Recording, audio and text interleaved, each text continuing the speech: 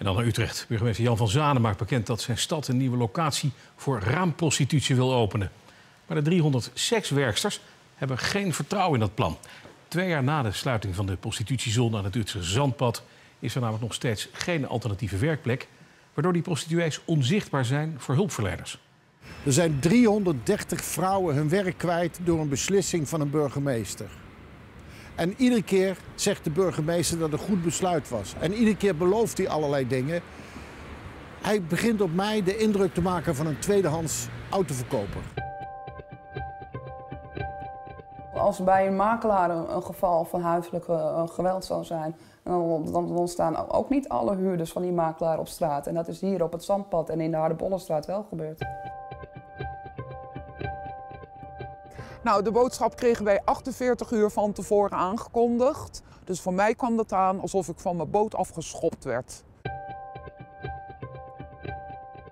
Ik vind het heel erg onbevredigend, maar dat zeg ik niet voor de eerste keer, dat we, uh, nou het is nu bijna twee jaar, dat er geen raamprostitutie mogen Dat vind ik onbevredigend, want ik vind, het college vindt, grote meerderheid in de raad vindt, dat uh, uh, veilige, schone raamprostitutie gewoon in Utrecht thuis hoort. En u kunt niet één plek nu snel openstellen, tijdelijk? Mevrouw, als ik dat kon, dan had ik dat al lang al gedaan. Maar zo werkt het niet in Nederland.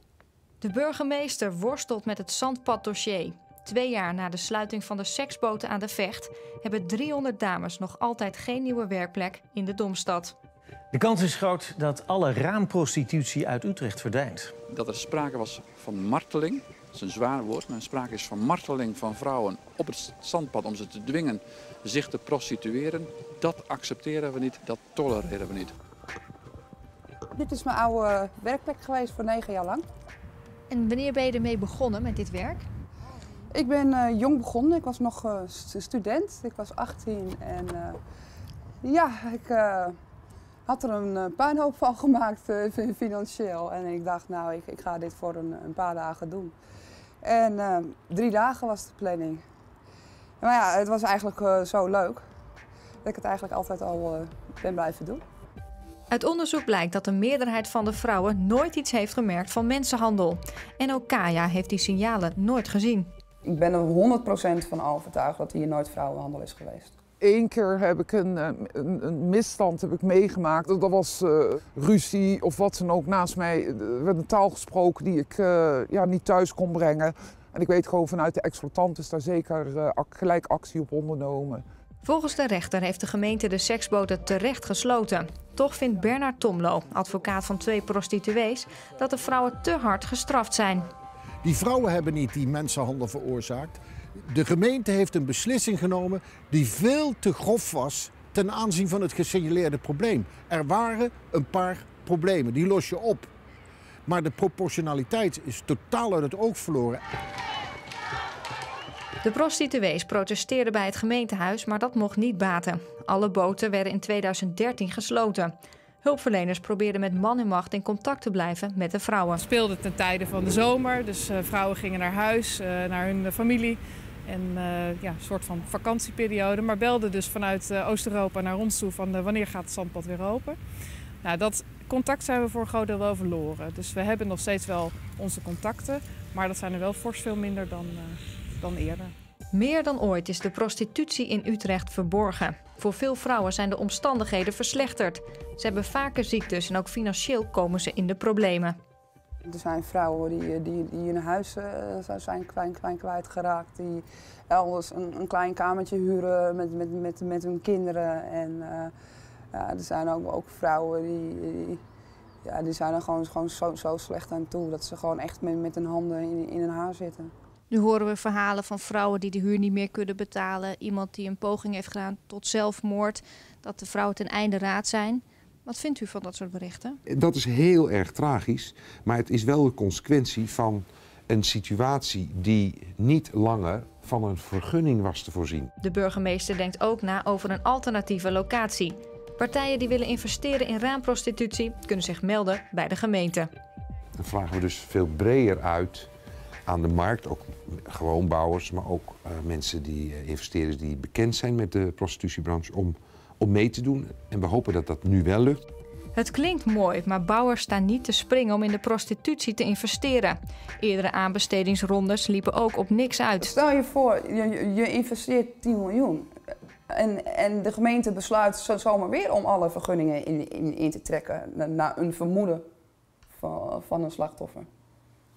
En, en, en, en buiten, buiten dat risico word je ook besmet, uh, omdat prostitutie zo gestigmatiseerd is. Uh, er zijn bouwers die, die, die, die, ik heb gesproken, maar die, die willen ook niet nu naar buiten komen van wij willen wel in de prostitutie investeren, want dan, dan raken ze hun klanten kwijt. Voordat nieuwbouw gerealiseerd kan worden, kan het zomaar 2017 zijn. En zo lang willen de vrouwen niet wachten. Kaya heeft daarom een raamexploitatiebedrijf opgericht, maar een tijdelijke vergunning krijgt ze niet. Mijn cliënten bijvoorbeeld, die kunnen morgen beginnen op de Harde Bollenstraat. En steeds verzint de gemeente weer nieuwe argumenten om te vertragen en om niet die schade te beperken voor die 330 vrouwen die hun werk kwijt zijn. Er moet als de bliksem prioriteit gegeven worden aan een tijdelijke voorziening waardoor de dames hun werk kunnen uitoefenen. En in juni dient de rechtszaak van een aantal prostituees tegen de gemeente Utrecht om tijdelijke werkplekken af te dwingen. Hackers van Anonymous hebben de digitale aanval geopend op islamitische staat. Zij vinden dat IS misbruik maakt van de social media, zoals Facebook en Twitter, om daar hun propaganda en haat richting het Westen te verspreiden. Hackers proberen nu hun accounts en sites te sluiten en doen wat machtige bedrijven en overheden niet lukt: het tegengaan van de IS-propaganda. ISIS, we will hunt you, take down your sites, accounts, emails, and expose you. From now on, no safe place for you online. You will be treated like a virus, and we are the cure. We own the internet, now. Hackers van Anonymous hebben de oorlog verklaard aan de Islamitische Staat. Ze vinden dat overheden en sociale mediabedrijven zoals Facebook en Twitter te weinig doen om de propaganda van IS te blokkeren. We see your magazines, videos and audio documents on too many platforms. Internet is for free speech, not for hate. Twitter en Facebook staan inmiddels vol met de meest verschrikkelijke filmpjes van onthoofdingen, zelfmoordacties en het verheerlijken van terrorisme door IS. Alhamdulillah rabbil alamin. Wala illa ala En als je ons vraagt hoe wij ons voelen, wallahi al-azim, we hebben ons nog nooit zo goed gevoeld. Eén Vandaag spreekt exclusief met een van de hackers die zichzelf XRS-One noemt in de digitale strijd tegen IS. It's a digital war. It's, it's a propaganda battle all the way to the max. I mean, the, the government hasn't really intervened. Corporate hasn't really intervened. It's almost like uh, you know private citizens on both sides acting, and it, it's getting pretty heated. So Volgens XRS-One worden we door IS bestreden met onze eigen middelen. Sociale media zoals Twitter en Facebook zijn in onze westerse democratie ontstaan. Met de vrijheid van meningsuiting hoog in het vaandel. Maar daarmee geven we IS bijna onbegrensde mogelijkheden om via deze middelen ongelimiteerd hun haat in het Westen te verspreiden. Een pijnlijke paradox. You know, social media and, Twitter by itself are some of the greatest innovations we've had in communication in the last 20 years. And you know they're leveraging it to to try incite violence against us and you know I think that should be from a patriotic stance insulting to everybody. Hij wil alleen anoniem met ons praten, omdat hij wordt bedreigd door jihadisten. Want eerder publiceerde hij al een lijst van 9200 IS Twitter-accounts. En deze week komen daar nog eens duizenden accounts bij, die volgens hem direct gesloten zouden moeten worden.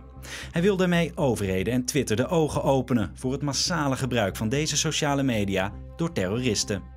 The idea behind releasing these lists is to, to use the numbers to show people that you know there is a large volume of this content. They're they're very very very active on social media, and this is a real problem. And I'm hoping with this new list, you know, the last one was only 9,200 active people. Now I'm, I'm trying to show that there's 26,000 users in total.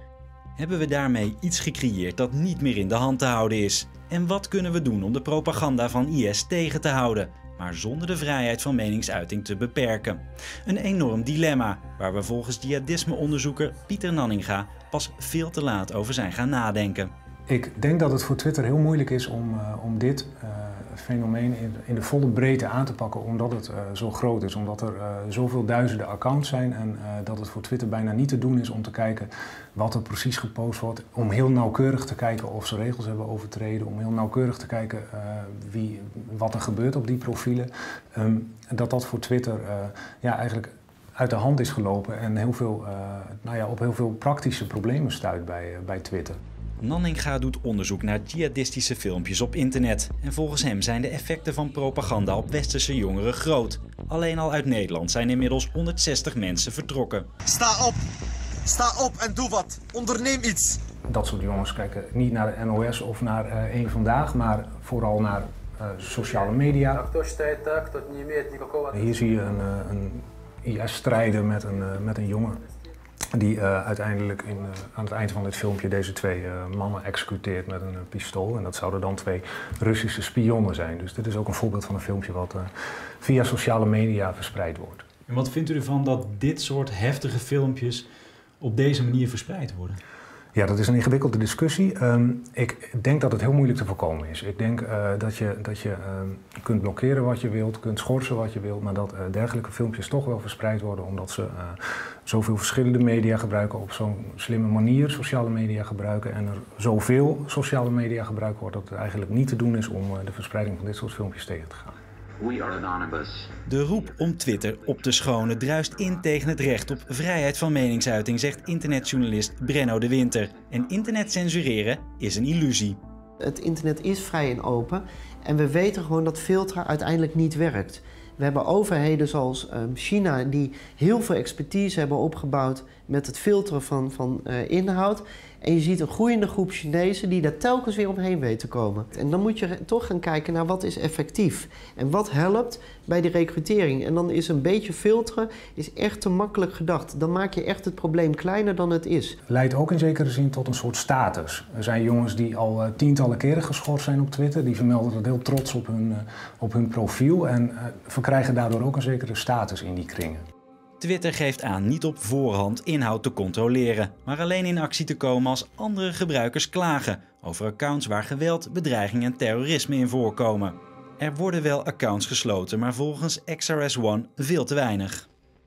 You know, the best solution would be for them to hire a better review team. You know, maybe they need a larger number of employees or they need to allocate more resources to being able to hand review each of these accounts and make a make an impact. But I think unless they do something kind of like a purge where they get rid of all of the accounts all at once on the same day. They need to just make one big sweeping initiative and take care of it. Zoals het nu is geregeld zijn sociale media nauwelijks nog te beteugelen. Wordt er één account gesloten, in diezelfde tijd worden er drie nieuwe opgestart.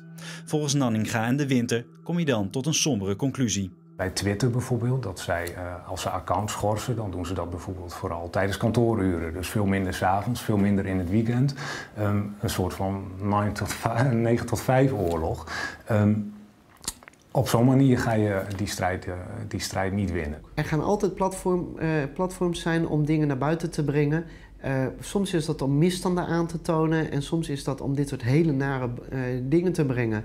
En het is heel vervelend dat het gebeurt.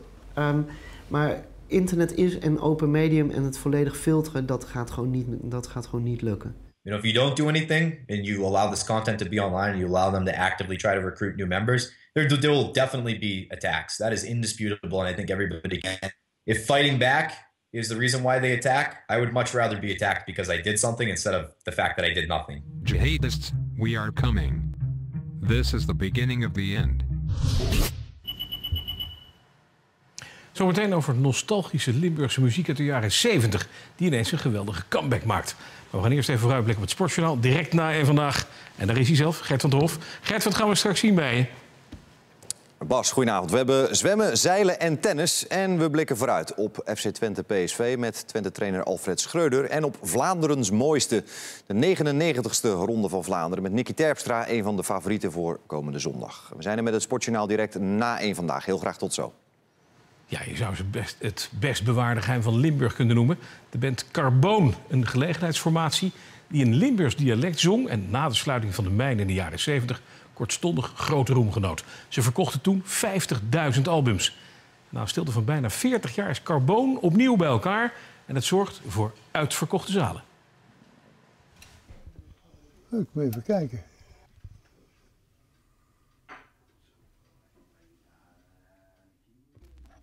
Wie groen wordt het land voor de koele heiko.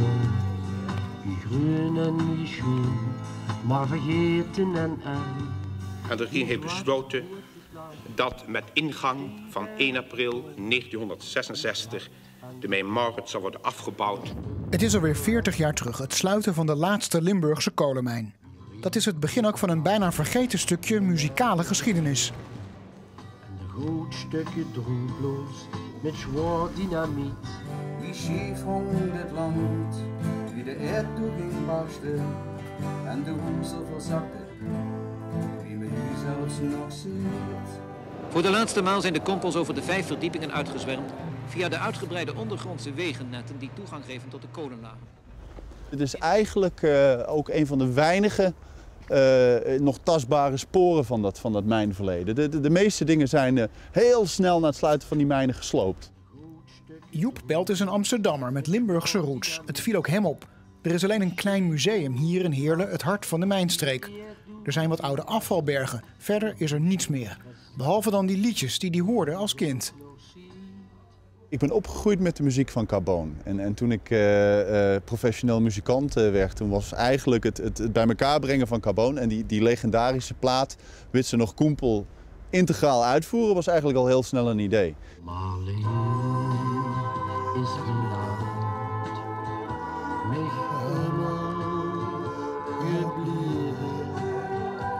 Het is bijna een film die aan je, aan je voorbij trekt.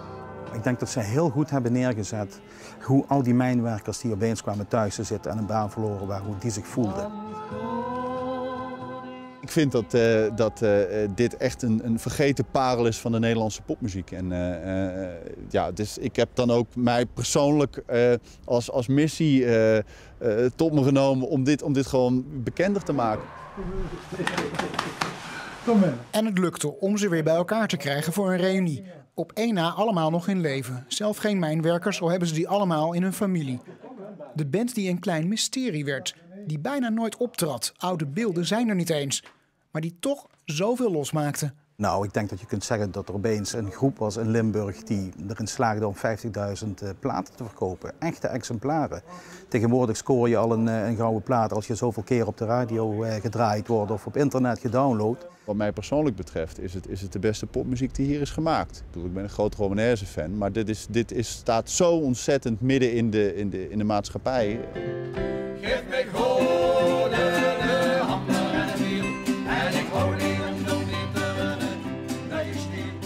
Je merkt dat uh, die emotie dat die aankomt, om dan te zien wat, wat muziek, wat dat een apart fenomeen is, dat je mensen zo emotioneel haken kunt. Dus je ziet er inderdaad lui die een zakdoek ineens tevoorschijn halen en hun, hun ogen aan deppen zijn. Dat is wel heel frappant. En ze zingen de teksten mee van, van het begin tot het eind. Dus dat is ook wel heel frappant, na zoveel jaren.